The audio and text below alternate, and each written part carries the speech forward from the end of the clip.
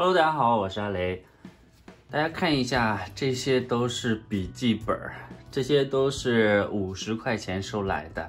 大家呢可以给大家来看一下，看大家认识不认识这些笔记本啊？有的真的是太老了，反正我回来翻了一遍，嗯，也不知道这五十块钱值不值。大家呢也来帮我看一下，我这五十块钱收的这些东西值不值？嗯，我们先来看这个最小的。这个最小的是一个，应该是一个上网本啊，然后这个是这样的一个名字，然后我们啊翻开看一下，这是一个呃，这还是一个 Win7 的系统，这是它的处理器，这是那个灵动处理器吧，好像是啊，然后这个是它的配置，十寸 N27。一 G 一百六十 GB 硬盘，啊，应该是宏基的上网本，但是呢，目前我插电呢，这个是没有任何反应的。我们先放到一边，然后我们再来看第二个啊，这个呢，呃，不是这次五十块钱收的啊，这个是呃白捡的一个，然后这个是 NEC，打开键盘都是日语的，然后这个是它的具体的型号，我在网上查了一下。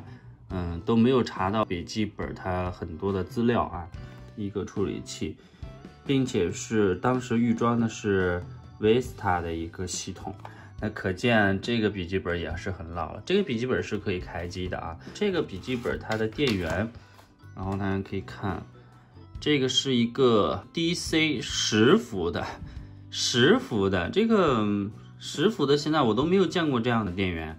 啊，然后我就找了一个。呃，这个是十二伏的啊，然后比它稍微高一点，然后呢，给它找了一个这样的一个接口，这个接口也是无意中找到的，然后呢，我就拿回来跟它看一下能不能用。哎呦，没想到就算插上来还是能用的。然后呢，我给它充了一些电，确实还可以开机，只不过呢，配置太低了，一个 G 的内存。不过呢，这个笔记本它的这个屏幕还是挺好的。我想一想，看这个屏幕如何去利用一下啊。有机会的话，我也会在这个上面去呃整一个软路由的系统，然后看一下像这样的一个配置啊，作为软路由是否可以带得起来三百兆、五百兆啊这样的一个带宽啊。然后就来到这个，这是索尼的笔记本。但是我这个索尼的笔记本，我看到最喜欢它的一点就是，当我打开以后，我看到上面有一个 i7，看到了吗？这笔记本好脏呀，上面肯定之前也贴了很多的贴纸，我回来也没有认真的去给它擦，只是扔到那儿了啊。它是一个 i7 的，这个就让我觉得，哎呀，这个 i7 的笔记本，它它到底是几代的呢？然后大家可以看这个键盘，日语的。我就在想这个东西怎么样呢？然后我就翻了一下它的这些接口，这些接口好多接口我都不认识。大家看，这这这这是个啥接口？就是很早以前的这个电话线的接口，好像是。可想而知这个时间有多久了啊！然后翻回来看一下，也不知道这个接口是个啥。电源的接口是一个这样子的啊，好像是很早以前惠普是这样的一个接口。我没有啊，但是后来想一想，专门买一个这样的接口也很麻烦，然后只是想试一下看这个笔记本能不能用，我就想到了一个很笨的一个办法，就是利用这个线，然后给它呃里边接上，外边接上。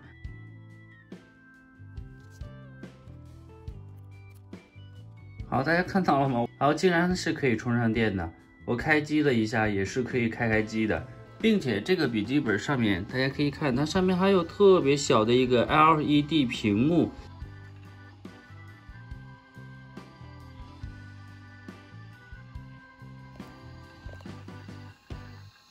大家听到了吗？好像这个是硬盘滋滋的声音，这个硬盘可能不行了。然后呢，就是这个超级大的电脑，大家可以看这个，这个就这个是索尼的。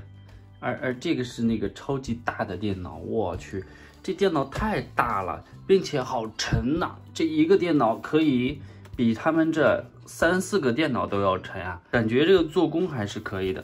然后大家可以看这上面是方正电脑，方正 E 和 T 五八幺零 C，有效期至二零零七年，十几年了。现在我们去开一下机吧，插电，开机。哦，可以开机啊！我看到这个 BIOS 好老呀，一百二十八兆 NF 一。但是这个屏幕好大呀，这个屏幕也完全是好的呀，这也是 XP 系统。我的想法呢，就是从这些笔记本当中呢，找一个屏幕素质稍微好一点的，呃，并且呢，找一个驱动板，看能不能把它的屏幕卸下来之后呢，呃，做成一个移动的显示器来使用。随后呢，再看一下这些废旧的笔记本有什么可以利用的。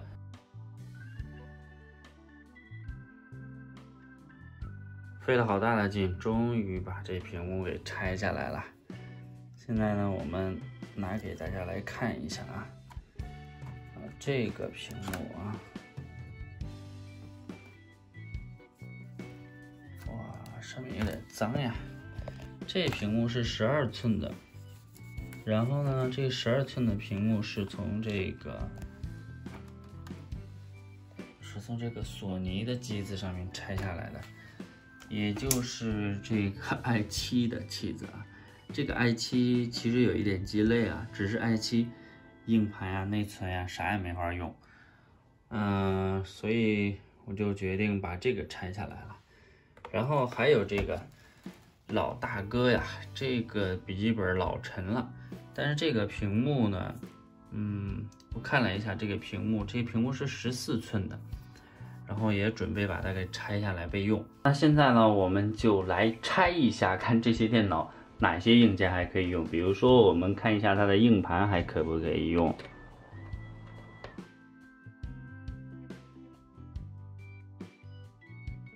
这种接口的，我发现这个接口也不是这种 IDE 的，这是啥接口呢？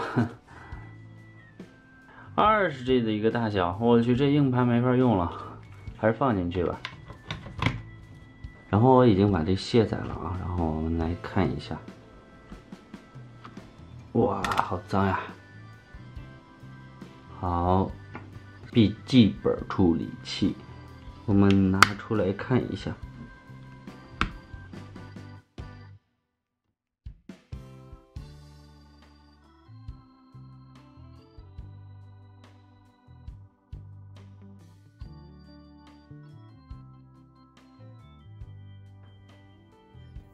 最终呢，拆下来三块屏幕，也拆了三个电脑。然后呢，这个是一个十二寸的一个屏幕，只不过呢，屏幕上面，你看这些脏东西啊，我擦了很多遍都没有办法擦掉。呃，但是呢，应该也不影响使用，只不过屏幕有一点脏而已。啊，这是一个 LCD 的屏幕，十二寸的。然后呢，这个跟卖家这个淘宝的那个卖驱动版的卖家。问了一下，这个型号是可以驱动的，然后我也买了一个这样的呃驱动板，那现在还没到。这个呢是一个十四寸的一个 LCD 的屏幕，大家可以看它的背后啊，呃这个呢跟卖家呃问了一下，它这个型号确实也是可以进行驱动的，只不过这个十四寸的有一点重。这个屏幕真的是太重了，作为一个移动的屏幕的话，这个就有一点不太方便了啊。然后还有就是我拆了一个 NEC 的一个笔记本啊，NEC 的电脑，它的型号呢是这个，所以呢，当我拆下来这个屏幕的时候呢，发现这个屏幕的质量非常好，大家可以看，超级超级薄。然后这个是一个 LED 的屏幕，但是呢，我问了一下卖家，这个屏幕能不能用驱动板？我找了好几家的卖家，然后他们都说这个屏幕的排线啊，在这边啊，他们那边是没有的。如果这个能够当一个移动的呃显示器的话，非常非常棒，超级超级薄。然后呢，我也再问一下，如果真的有这样的一个驱动板能用的话。我觉得肯定会用这个的，但是目前呢买的是，呃这个啊 LCD 的这个屏幕，十二寸的。这个屏幕也是还可以啊，相对来说还是比较轻的，将就着能用就行了。